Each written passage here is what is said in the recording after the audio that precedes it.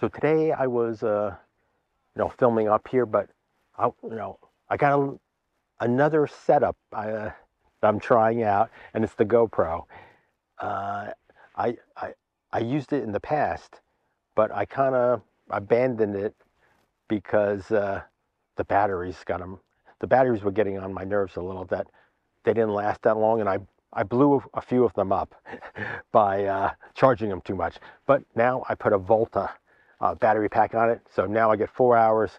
So I'm back to the GoPro, and it, it helps. It keeps me mobile, and uh, I can show you the locations and just bring out the GoPro.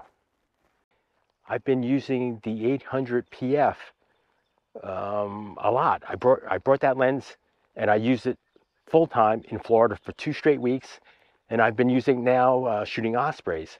And I just want to say I love the lens. Um, I got a few questions about the lenses, about the 800 PF, and I think the sharpness is tremendous, and the autofocus. Those are the two main things, and they it works great. So I highly recommend the 800 PF, especially for video. So I went down to Florida, had a great time, and I got some things that I didn't expect, and I'm really excited to uh, bring that in the next few videos. Also, I got to meet one of my mentor idols from YouTube and got to speak with him for about 30 minutes and a super nice guy. And I have a little clip of that. So um, I, I, look forward to uh, my upcoming videos. I have them all right now, uh, I don't say backed up, but ready to go. But it, I need to put them together. So the summer should be great. Hello, Peanut Peeps. How you doing? It's Peanut Chu. This video is about a red-tailed hawk that I got footage about two months ago. But now I'm back to finish up the YouTube video. And I want to bring you on location to where I got this footage. So the first spot is by the parking lot. And this red-tailed hawk didn't mind being around people. So that was great. And I was up, actually up here for uh, short-eared owls, but when this red-tailed hawk presented action to me, I took it and I had a great time. The hawk, uh, where she flew towards me, so I needed some room in there. So what I did is, you know, if she perched on the Martin house or the bathroom or the sign, I stayed a little further back. So if she flew towards me, I could cap I could capture that.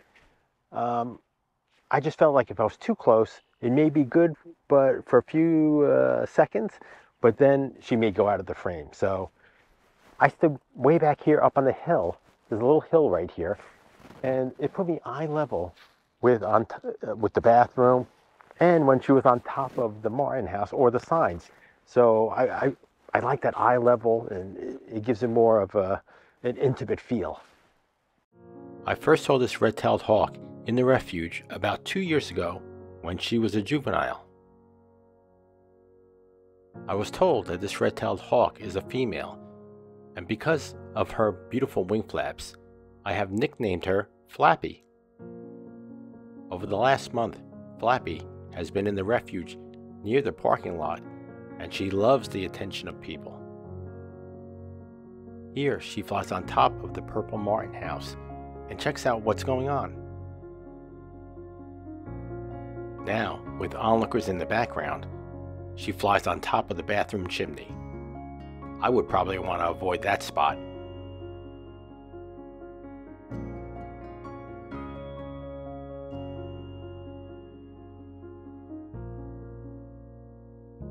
Over the last two years, her flying abilities have drastically improved. Here, she flies around the parking lot and lands on a sign.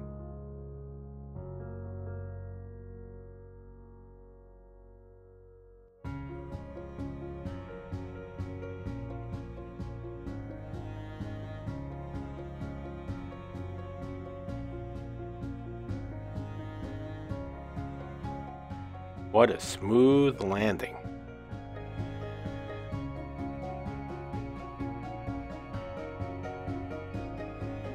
Many times, this girl flies by so silently, you don't even know she's there.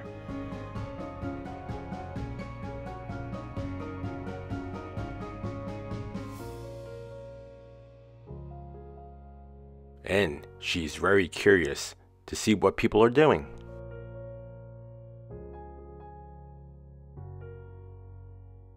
And if you want, she'll give you some super close action shots. And the shots that I love to get is when Flappy's carrying her dinner in her mouth. I call these the money shots.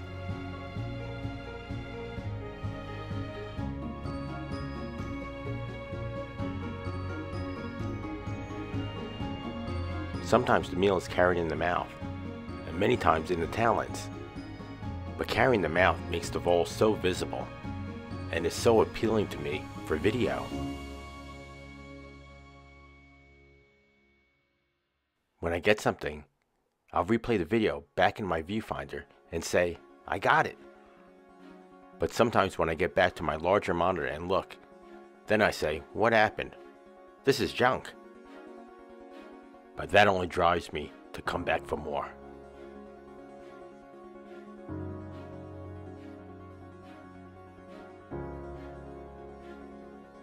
To replay your video in your viewfinder on your Z9, Put your eye to the viewfinder.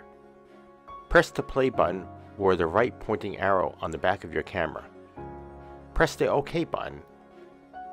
If you want half speed, while the video is playing back, press the down arrow two times on the multi-selector.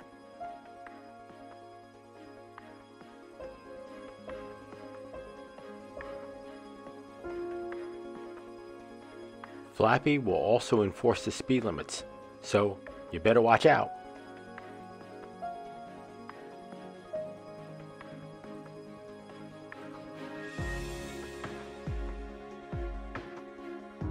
And when you leave, she will bid you adieu. And at the end of a hard day, Flappy will rest on the bench. So that's it for today. Thanks for watching. I'll see you next time. Peanut Adventures.